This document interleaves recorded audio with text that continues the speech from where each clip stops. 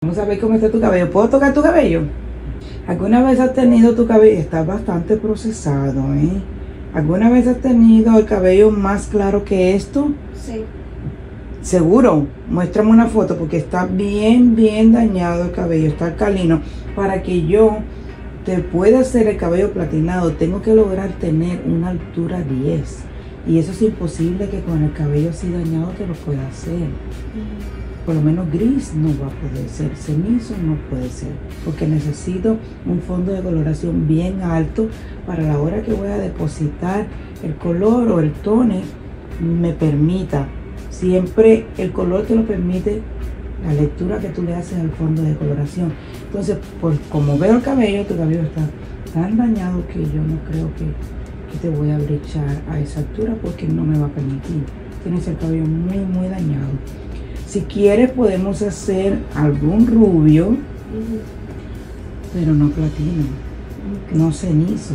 A ver, muéstrame qué tú quisieras para yo ver. Ah, tú quieres un rubio, un rubio arena. Tú no estás tratando de conseguir un rubio cenizo. Me asustaste. Verdad me asustaste. Ah, si lo que quieres es un rubio arena, un rubio beige, sí lo podemos lograr. Vamos a trabajarlo despacito.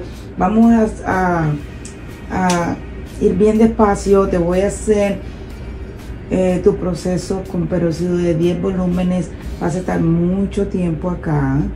8 horas tal vez, porque necesito dedicarle tiempo a tu cabello para ver si podemos lograr los resultados que tú deseas. ¿Quieres eso? ¿Cuándo fue la última vez que te hiciste color?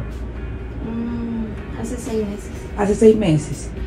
Y cuando te hiciste color, obviamente se rompió tu cabello, todo se quedó así cortito, ¿verdad? Casi siempre que me lo pintaba de ese color se me revienta. Se te revienta. Ok. Y tú quieres mantenerte rubia. Ujú. a toda costa. ¿eh? Primero belleza y después salud del cabello. ok, ¿cuál es tu nombre? No te he preguntado ni siquiera cómo te llamas. Doris, Doris, ¿de dónde eres, mi amor? de El Salvador. Eres El Salvador. Ay, qué bueno. Están sucediendo muchas cosas buenas por tu país. Me encantaría que en el mío estuviera sucediendo lo mismo también. Señora, hoy tenemos jueves de TBT. ¿Ok? Y para eso traigo un pequeño recuerdito que te que quiero compartir contigo también y con ustedes las seguidoras. Hoy estoy luciendo este pantalón, este jeans que tengo que me queda un poquito grande porque fue el pantalón que usé para entrar a este país hace siete años atrás. Y entonces dije, ay, sería bueno recordar, me lo voy a poner hoy porque me encanta. Cuando miro mis galerías o algo de eso, de hace mucho tiempo atrás, me remonto en tiempos que han pasado y a veces uno no los vuelve a remover,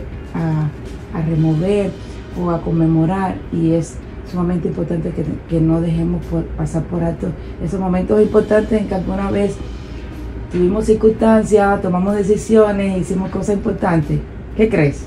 Es bueno recordar, vale recordar. Entonces por eso, señores, quiero recordar con ustedes ese momento tan bonito para mí, por la gracia de llegar aquí a este país que me ha acogido tanto, me ha dado tantas oportunidades con esfuerzo y dedicación y de dejarnos saber a todos los que estamos aquí que vale la pena esforzarnos y que vale la pena emprendernos y salir adelante con todos nuestros propósitos, ¿cierto?